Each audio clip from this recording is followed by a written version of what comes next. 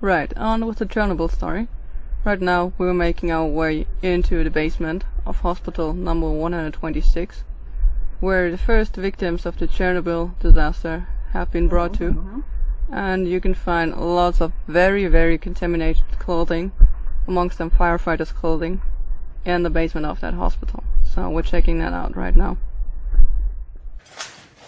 At first, these pitch black hallways provided nothing much of a reading.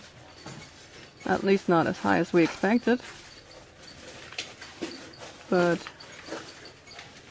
as we move further into the hospital's basement, we will soon be picking up much higher radiation levels from these spots of where the gear has been dropped.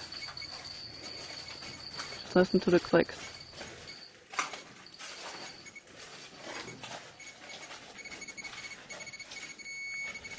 Okay.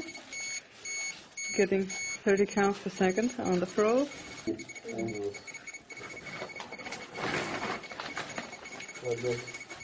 You can see gear, or more like clothing, distributed all over the floor here. There's a boot from a firefighter there. And this room is entirely full of contaminated clothing. I was getting intense readings as you can hear. Lots and lots of counts. All the devices I had with me are in alarm mode.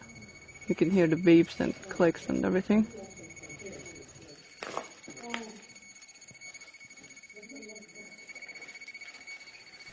It's like a huge spot of uniform, high level contamination.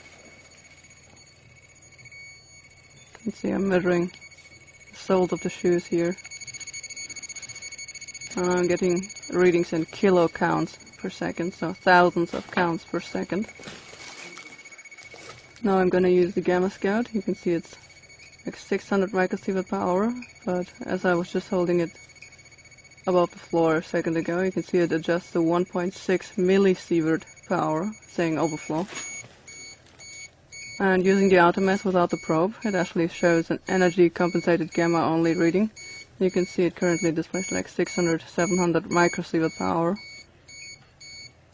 So as I bring it more close to the floor, or to the close, you can see we're getting over 1 millisievert hour as uniform contamination all over on that clothing.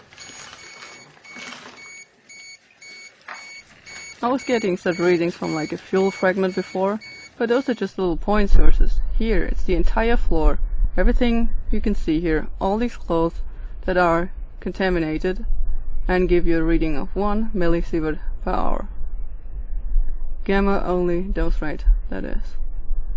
And you can see there's a lot of dust about as well, which why which is why I was wearing a dust protection mask. And I was just getting random readings, but they were all pretty much the same. And even my dosimeter watch was giving me a reading of like 70 microsievert per hour while standing up, so quite high above the floor. So yeah, intense levels of radiation here. So of course what I had to do is uh, I had to pick a sample of that clothing to analyze it in the gamma spectrometer. So